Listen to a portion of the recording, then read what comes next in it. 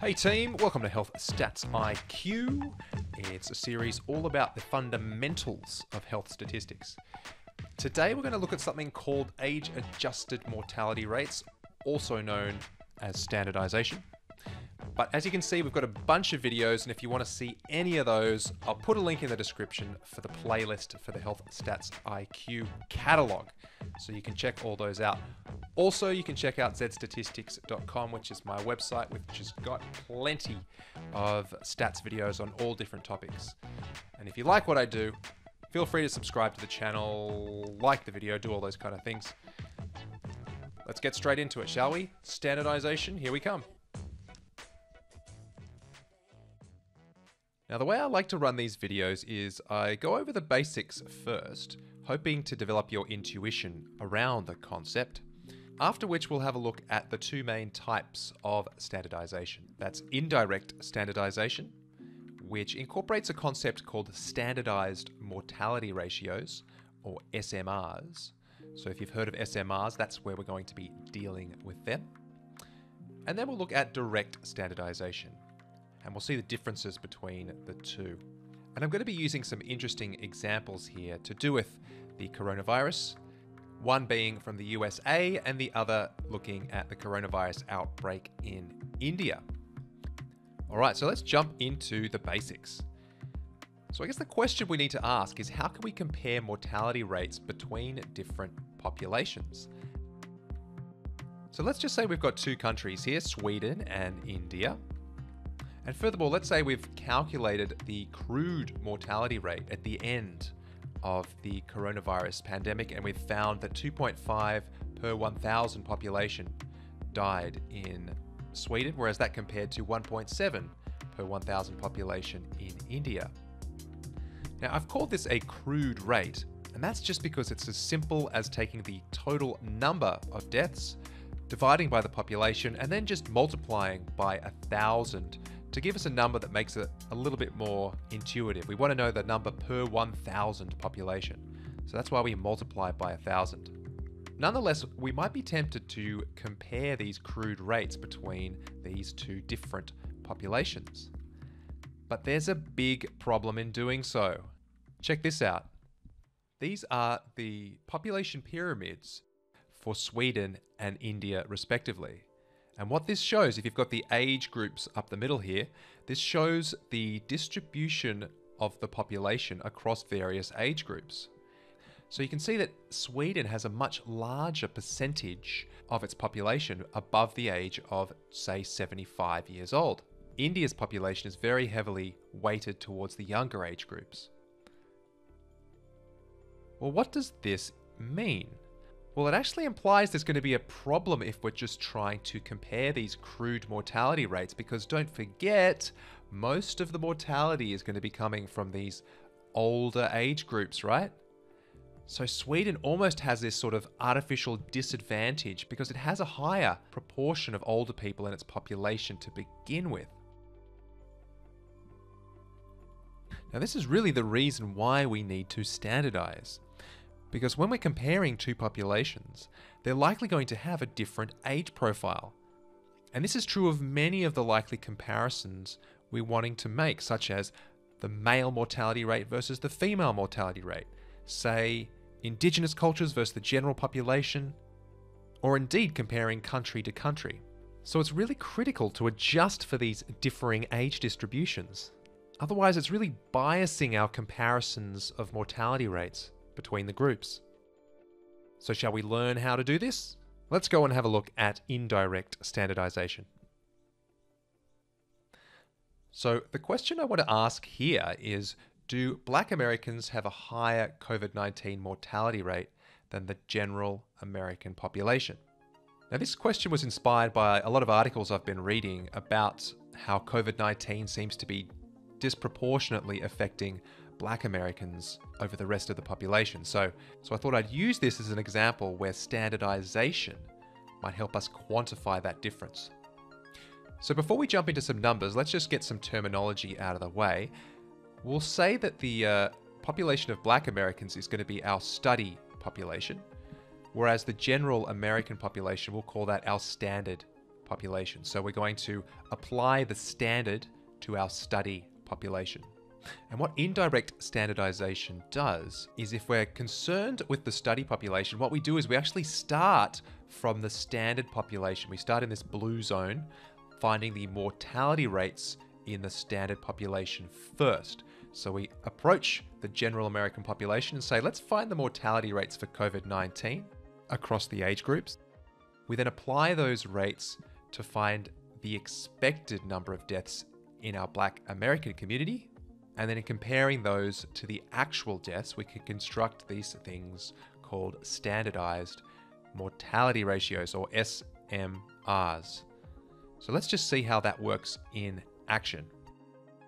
So step one is to find the mortality rates in the standard population, that's in the general American population, stratified by age group. Now it's important that we have that stratification because that's essentially what this whole standardization process is all about. We're thinking that the black American population might have a different age distribution, so we need to account for that when we're assessing their death rate. So this here is the standard population and the number of deaths per 1,000 people, where quite clearly we'd be expecting this to increase as the age group increases, such that we've got 7.1 deaths per 1,000 population in that upper age group of 75 plus. Now, these numbers I've just pulled from thin air. I'm just making a nice example for us so we can um, do some nice calculations a bit later on.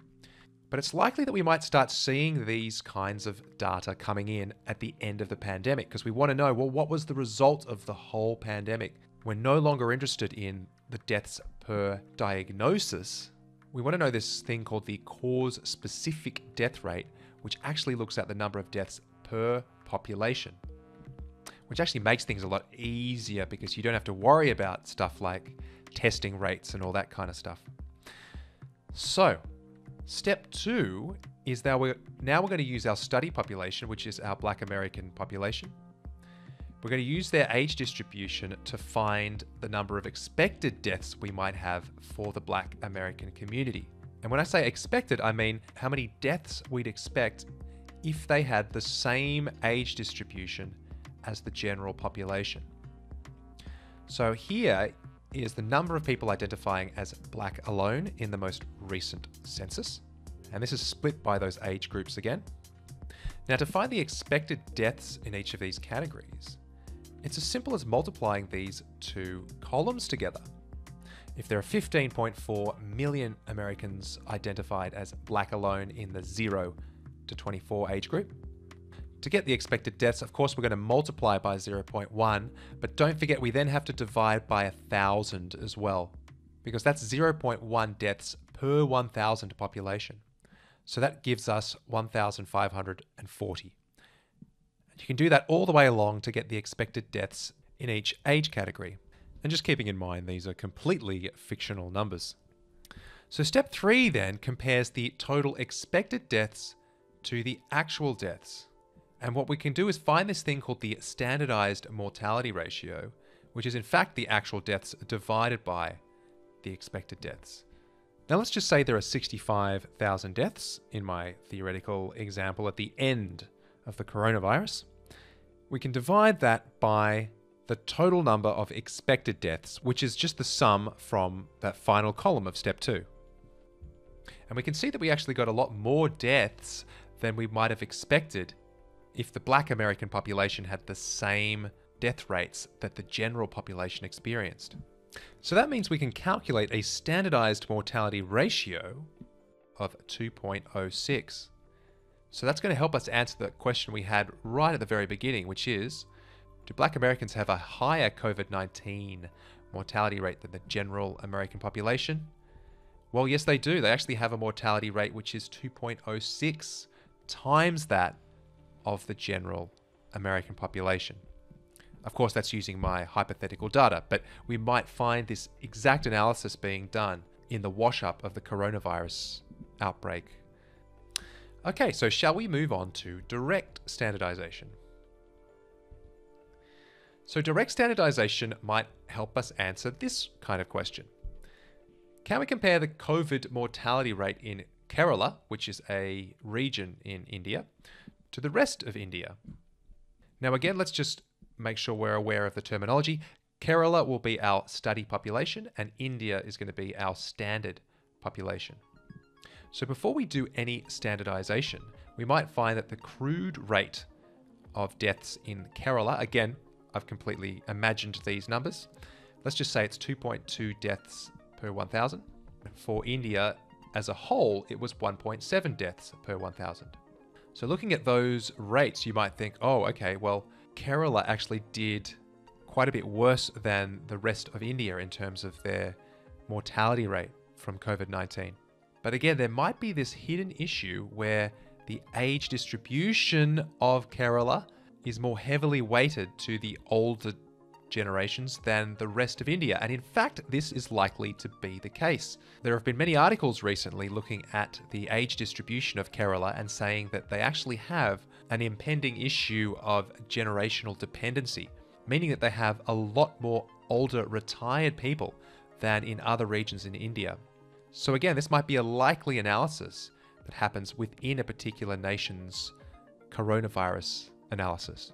So the question might then be can we standardize this crude rate, applying the standard of the Indian age distribution? So we're basically going to try to say, all right, if the crude rate was 2.2 deaths per 1,000, what would the deaths have been if Kerala had the same age distribution as India?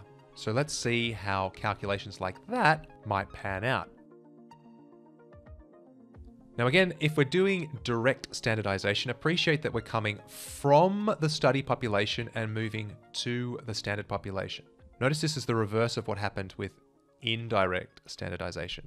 So here we go straight to the source. We go, let's look at the actual death rates occurring in Kerala.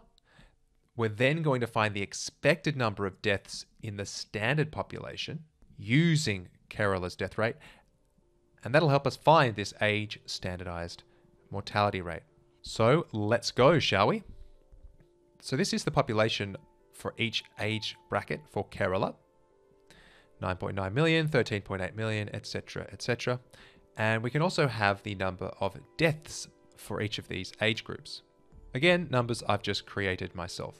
And we can then find the number of deaths per 1,000 population. Pretty simply, we just do the number of deaths divided by the population, and then we make sure it's per 1,000. So we times that by 1,000. Anyway, we get this a death rate per age group.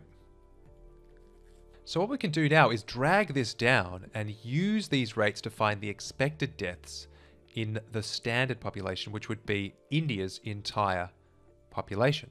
So we're basically saying if India was experiencing the same death rate as Kerala, how many people would die in the entire nation of India? Now, these numbers look absolutely crazy, but that's, of course, due to the high population of India. And sitting here well before the end of the coronavirus pandemic, I'm very much hoping that these numbers are purely demonstrational and have no basis in reality. But to calculate them, of course, you just take the number of deaths per 1,000 population and multiply it by the total population, remembering that factor of 1,000 in there as well. So again, we'd have to divide by 1,000 just to net that out. So step three is going to be to find the age standardized mortality rate. So to do this, we're going to take the total expected deaths, which is the sum of this whole column here, and divide by the total population. So we can add up all the deaths up here.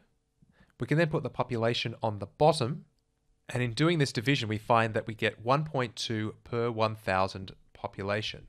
So what essentially we've done here is we've taken the death rate for Kerala and applied that death rate to the age distribution of the entire nation of India to say, well, if Kerala had that same age distribution of India, what would be its death rate? And it turns out to be 1.2 per 1,000 population. So, what does that mean? Well, if we go back to the question we were asking, it says, can we compare the COVID mortality rate in Kerala to the rest of India? And indeed we can. It turns out that the age standardized death rate is 1.2 deaths per 1,000 people. So just looking at the crude rates, we actually got a false impression of how well Kerala was doing in comparison to the rest of India. And once we took the age distributions into account, Kerala turned out to be doing uh, better than the rest of India in terms of reducing the mortality rate. But that is it, my friends. That's standardization. If you've enjoyed the video, feel free to give it a like and subscribe to the channel. I'll put all of the Health Stats IQ videos in a playlist, which I'll link in the description. Or if you want to see any of the videos I make, you can check me out on zstatistics.com. Take care out there, and I hope you're safe and well. See you next time.